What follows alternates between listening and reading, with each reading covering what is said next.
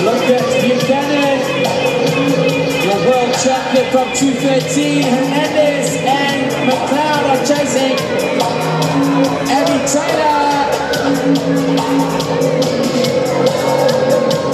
Charlotte Greenlight is looking good in third place at the moment.